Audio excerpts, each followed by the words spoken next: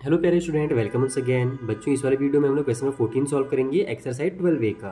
देखो सिंपल सा क्वेश्चन है, जैसे टेंथ नंबर मैंने आपको समझाया था ना, बिना डायग्राम के, उसी तरीके से ये भी आपका सॉल्व हो जाएगा। यानी वहाँ भी डायग्राम नहीं दिया था, मैंने आपको एक डायग्राम बनाकर बताया था। वैसे यहाँ भी हम लोग सिंपल सा डायग्राम बनाएँगे तो आपको क्लियरली समझ में आएगा कि क्वेश्चन में कहा क्या जा रहा है। फिर मैं पहले एक बार रीड करके आपको समझाने की कोशिश करता हूँ। इसमें बोल रहा है कि if a diameter of a circle bisect each of two chords of a circle यानी कि एक हमारे पास सर्कल है, जिसमें दो कॉर्ड्स हैं हमारे पास। और एक डायमीटर जो है, वो उन दोनों कॉर्ड्स को क्या कर रहा है, आपस में बाइसेक्ट कर दे रहा है। तो प्रूफ कीजिए जो कॉर्ड्स है ना, वो आपस में क्या है पैरेलल है। जो भी कॉर्ड्स हमारे जो बाइसेक्ट हुए, वो दोनों आपस में क्या है पैरेलल है। तो जैसा मैंने आपको टेंथ नंबर में वहाँ पर डायग्राम बनाया था ना, वैसे अगर आप यहाँ भी डायग्राम बनोगे तो भी चलेगा। लेकिन ज़्यादा पास पास दोनों कॉर्ड्स को मत बनाना। ज़्यादा पास बना दोगे ना तो आपको थोड़ा सा वहाँ पर एंगल को समझाने में दिक्कत होगा। इसलिए मैं थोड़ा सा कोशिश करूँगा कि जो कॉर्ड्स हैं, उनको दूर दूर बनाओ आइए मैं आपको इसको सॉल्व करना कॉपी में सिखाता हूँ।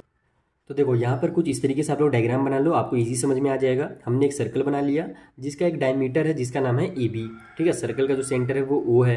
अब इस सर्कल में दो कॉर्ड्स हैं, एक तो पी क्यू है और दूसरा आर एस है।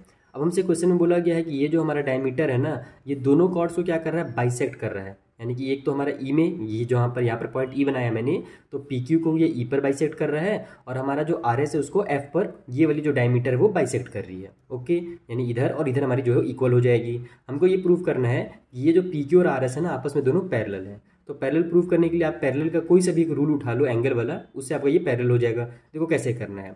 सबसे पहले तो अपने को ये पता है कि अगर ये बाइसेक्ट कर रहा है, इसका मतलब कि जो सेंटर से लाइन गई होगी, वो परपेंडिकुलर लाइन गई होगी। क्वेश्चन नंबर वन से लेकर के टेन इलेवन तक आपने यही भी तक पढ़ा है कि जब कभी भी हमारा सेंटर से एक परपेंडिकुलर लाइन जाता है है ना, किसी भी पॉइंट पर सर्कल की, तब क्या करता है, वो कॉर्ड को बाइसेक्ट करता है। तो अगर ये कॉर्ड बाइसेक्ट हो रहा है, इसका मतलब है कि ये जो मेरी लाइन होगी, वो परपेंडिकुलर लाइन ही होगी। आप लोग इसको ऐसे लिखोगे कि मेरा जो ओ ई है ओके ओ ई जो होगा मेरा, वो परपेंडिकुलर होगा मेरे पी क्यू पर ठीक? क्योंकि ये बाइसेक्ट कर रहा है तो हमारा ये रूल है, ये थियरम है। आपको क्वेश्चन नंबर वन से लेकर के टेन तक जो थियरम मैंने लिखा है ना शुरू में, बस वही थियरम है ये हमारे पास।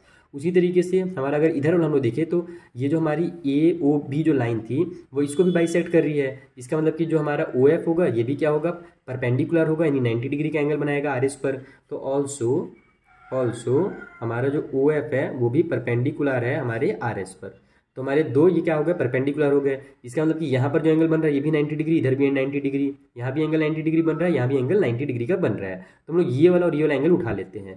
पी ई और हमारा जो ओ है पी ई ओ ले लो या फिर पी ई एफ़ ले लो, जो भी आपको एंगल का नाम देना चाहते हो आप दे सकते बस ध्यान रखना कि यहाँ पर हमारा ई में चूँकि एंगल बन रहा है तो ई को आपको बीच में लिखना है। यहाँ पर आप लोग एंगल नाम लिखो कि एंगल जो हमारा पी ई एफ़ बन रहा है, वो इक्वल हो जाएगा यहाँ पर वाले एंगल की, क्योंकि ये भी 90 डिग्री है और ये भी 90 डिग्री है। तो इसका नाम क्या दे दूँ मैं?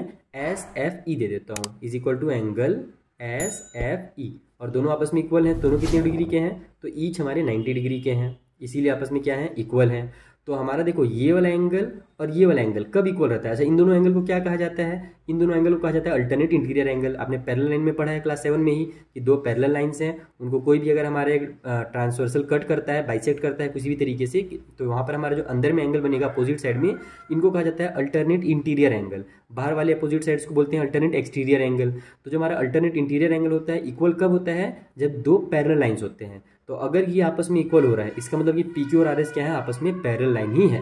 तो यहाँ पर आप लोग लिखोगे कि सीन्स क्या बोलते हैं alternate interior angles alternate interior angles are equal alternate interior angles जो है मेरे आपस में इक्वल है। सो so, इसलिए मेरा जो पी क्यू और आर एस होगा वो पैरेलल होगा।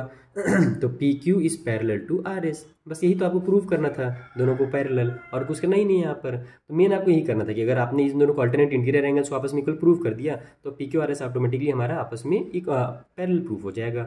यहाँ पर क्वेश्चन फोर्टीन होता है कंप्लीट आई होप आपको बहुत अच्छे समझ में आ गया होगा। कुछ भी डाउट हो तो इंस्टाग्राम टेलीग्राम किसी के भी थ्रू आप मुझसे पूछ सकते हैं।